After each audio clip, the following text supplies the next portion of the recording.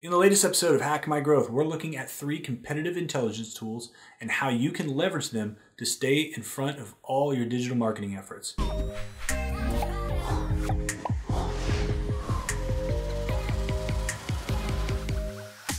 Hey, thanks for checking out this video. If this is your first time watching or maybe you've been watching a while and you have not yet hit subscribe, please do so now. We create new content each and every week to help you get the most out of your digital marketing activities. All right, let's go. So, as I said in the opener, we're going to be discussing three powerful competitive intelligence tools that you can leverage to really take your marketing efforts to a whole new level. This is going to help you build better campaigns, better strategies, help you better understand your audience, and really give you that slight edge to put you ahead. So, let's go.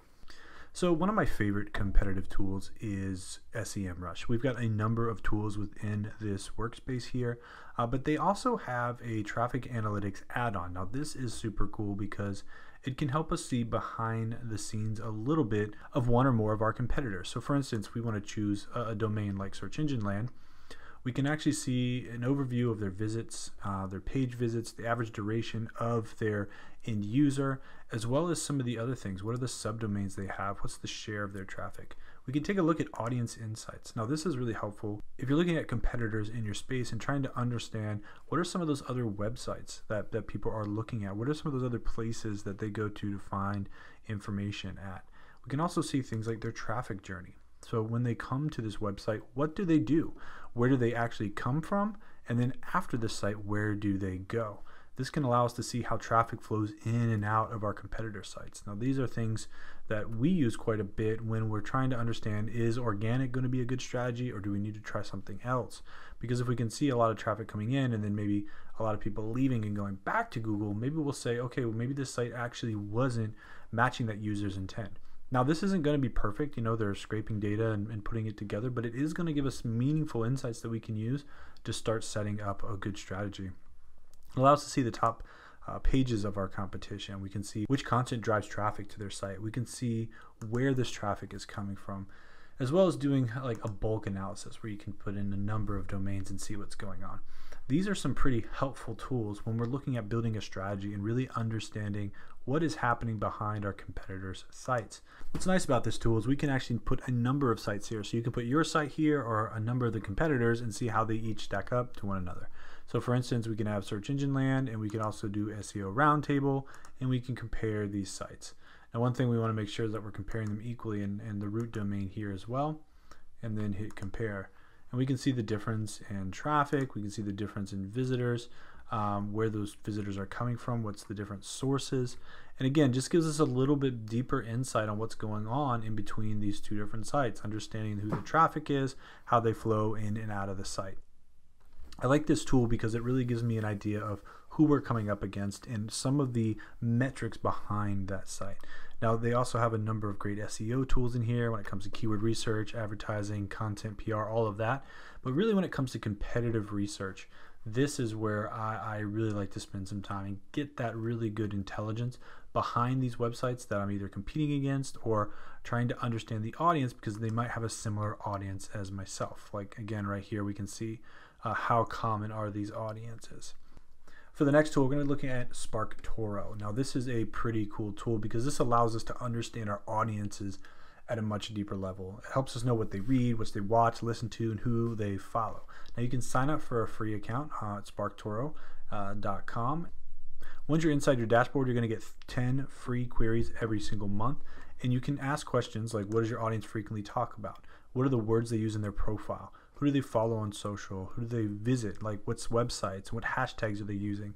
You can also analyze a specific website or a social media account.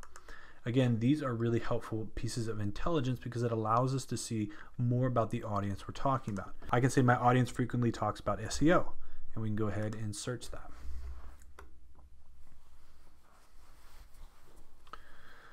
Now you can see they found quite a large database here of people talking about SEO. We've got a large size.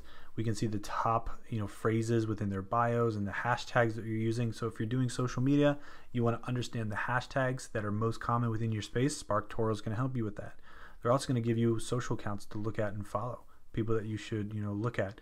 Some hidden gems. So what is this? These are smaller accounts, but highly related and they engage really well.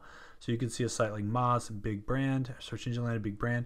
Screaming Frog, awesome tool, great SEO tool, something we use all the time, pretty well known in the SEO community, but maybe not as big as some of these other ones. You can also see the websites that they engage with as well over here. You can see the podcasts and the YouTube channels that are, are highly influential in these spaces. These are just the overview metrics, but we can also get more information about our audience. So, uh, who are they? What are the words that they use in their content? Um, what is their, you know, some of their demographics and and understanding who they are and where they line up here politically and uh, as well as you know geographically. Um, as well as you know where do they spend their time and, and how often they're using social channels. We can look at social media specifically. We can look at websites, podcasts, YouTube, and the like. There's a lot of cool things that SparkToro is going to do, and especially if you're you're leveraging both social but also content marketing and weaving that in with uh, SEO. This is a great tool that's going to help you really understand your audience, where they're at, who are the people that they're engaging with, who are the people that they trust, and then allowing you to build some strategy around that to better target them using the right keywords and, and, the right hashtags and all of those other things that you need to do when you're building your strategy. The last tool we're going to look at is a tool called Morphio. Now, Morphio has a number of different features, uh, and they've got a 14 day free trial if you're interested in this tool. Uh, but one of my favorites is actually the competitive uh, intelligence that's, that's offered within this tool. So, not only does it help you with your ROI and, and helping you understand what's happening with your website in real time, it's also going to give you some pretty cool competitor uh, intelligence. So right off the bat, uh, Morphio is going to allow you to track things like you know your bounce rate, your conversions, your new users. It allows you to set a goal and you can see whether or not you're on track. So another cool thing about Morphio is it allows us to track anomalies, and not only when it refers to our websites. We can actually put our competitor sites into this tool and it's going to tell us how they're performing and some of the things that may have impacted their site. So in the past, you know, we can make changes to our site and we can see did that have a positive or negative impact. So over here, you know, working on this term, we went from 24 to 29. So we went down a little bit. We need to take a look at this to see how we can improve this. Um, but we can also see over here we saw this site, a competitor site that we just have tracking in here, and they went from 48 to 33. So they actually increased their visibility. Um, we can see that, all right, what happened? They changed this in the SERP results. So we can see these pull out in, in real time exactly what's, what's going on. Um, it's going to give us different warning cards based on the different things we're seeing here. So again, this is a competitor going up. We go up here if it's green. So obviously reds are things that we want to look into and then or, yellowish orange is kind of like a mid-level and then green is a positive thing that that we're seeing so every once in a while you'll see that there's some insights here on these specific pages. So for instance we can see that impulse creative here there's an insight on the page. I can go and look at it. What it's telling me is that impulse actually made these changes to their website during the time period that they saw their rankings increase.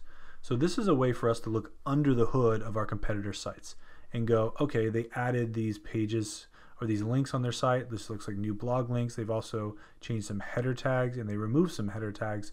And as a result, we saw the changes go from 43 to 37.